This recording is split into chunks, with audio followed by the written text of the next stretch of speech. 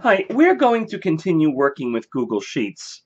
Um, to start off with, what we're going to do is to go up to the Google Apps button, those three by three rows of little squares, and we're going to look for the for the uh, icon for Sheets. In my case, it's right over here because I've used it several times. Um, yours should be up there, but if it isn't, if you go down to the More, you can find it there. In either case, I'm bringing it up. And uh, rather than starting the blank spreadsheet, I already started on the spreadsheet over here that we're working with because watching me type in numbers is about as exciting as watching paint dry. And right now, waiting for this to come up, and here we have it. Now, right away, one of the you'll see the numbers all here.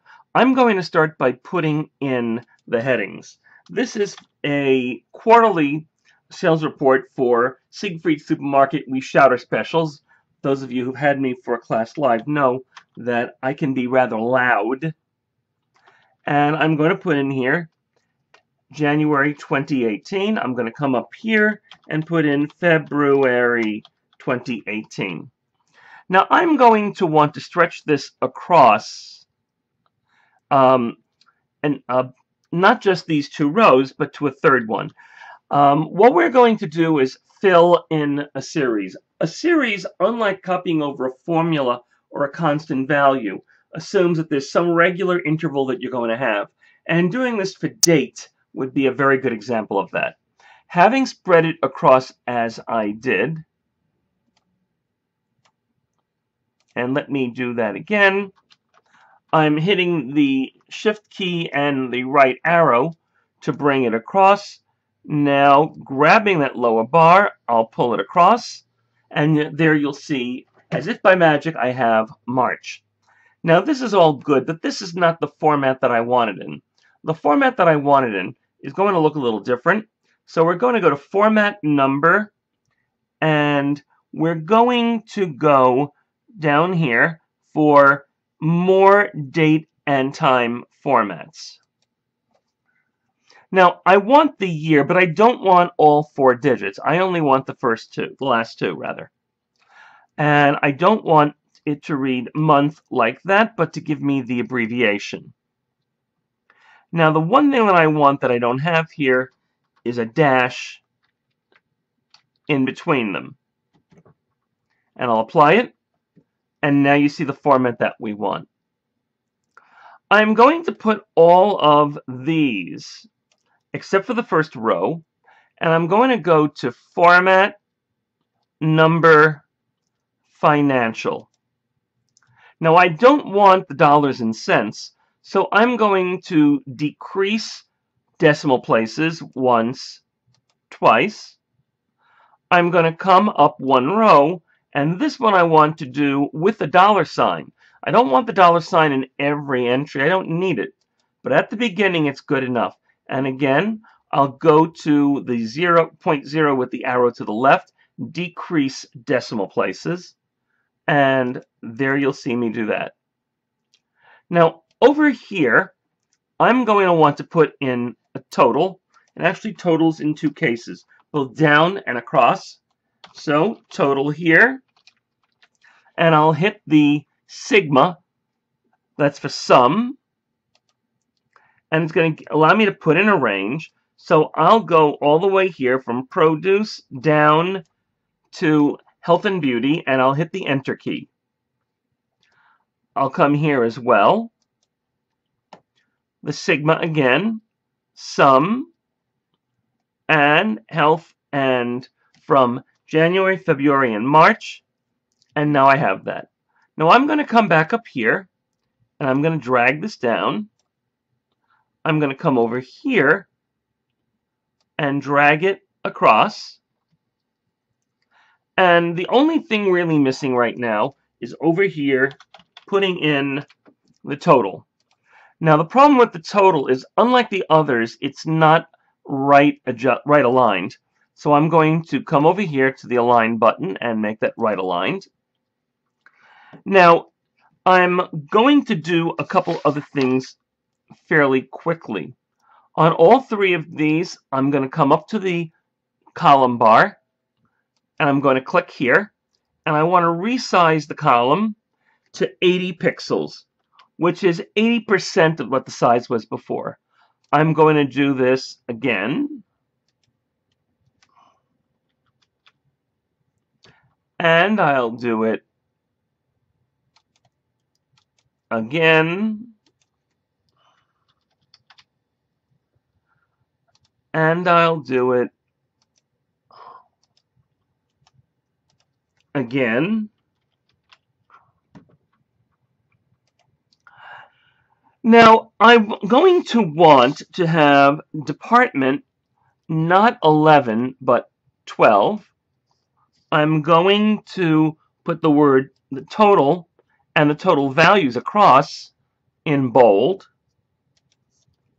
Now I'm going to come down to row 15 and I'm going to put in the word statistics. And below it, average,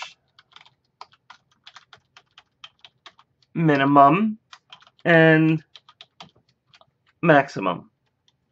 Now in each case, I'm going to want to have here the average that I'm looking for. So what I'm going to do is type equals and I'll type the word and you'll notice below I can see the values the uh, which one of the functions I'm going to use. I'm going to hit the open parenthesis and I'm going to grab from all the way from A6 to A11 sorry B6 to B11 and I can come down there. Here I'm going to want minimum mi and all I'm going to need is min open parenthesis and I'll drag down the same ones as before. And here, maximum, all I need is max, open parenthesis, and I'll and I'll drag down again. Now I'm going to highlight all three of these so I can come to format, number, financial. And again, let's cut this down. And now I'm going to go across. Now, all of this is good, but I'm going to put it in italics. And I'm going to come back here and do it for the headings as well. But statistics, I'm going to also underline. And since I don't seem to see the underline button here, I'm going to go to Format, and of course, here it is. Now, I'm not finished with everything yet, but the most important thing now is to construct a pie chart. So, I'm going to come down like this to cover E6 through E11. And now I'm going to go here to Insert chart. And there I see it. Now, a few things along the way. This is not what I want. I want a pie chart, a three-dimensional pie chart, if possible. So I'm going to come over here to the, to the chart editor, to Data, and I'm going to pick the chart type that you see down here. Now, at this point, there are a few other things along the way that I will want to do. So I'm going to go to Customize, and I'm going to go to chart and axis titles. Chart title will go in here. How we make our money. And two things, I'm going to change the font from Roboto to Arial. And I'm going to come down here, title format, over here, to alignment and I'm going to center it. So far, so good. Now the problem now along the way at this point I want to go back into the chart editor where I have the three dots I click edit chart I'm going to go back to customize I'm going to go to legend and where it says position I'm going to go to bottom. And that will automatically give me a dot for each one of the segments. What I'm going to do now is I'm going to go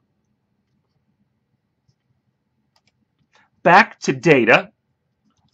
I will click on the label and I'm going to put in the range A6 colon E6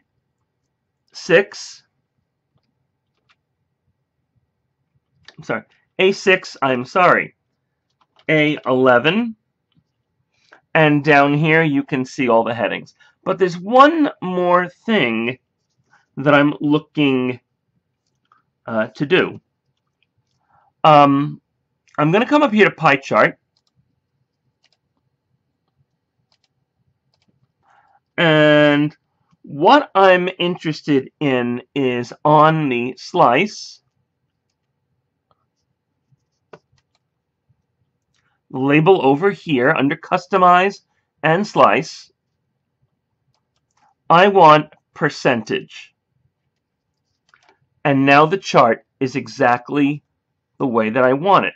But it's a little larger than I want it. So what I'm going to do is I'm going to shrink it down a bit, just small enough, just large enough that I still have um, all the labels in. Now, I still need, I'm going to move this down. This should be just a little further down, like so. Siegfried's Mark Supermarket will come across like so. And we're going to merge and center. And we're going to increase this to 6 to uh, 14. Um, I will take these two, also merge and center. I'm going to change this to 12 and I'm going to italicize. And I'm going to, let's not move it.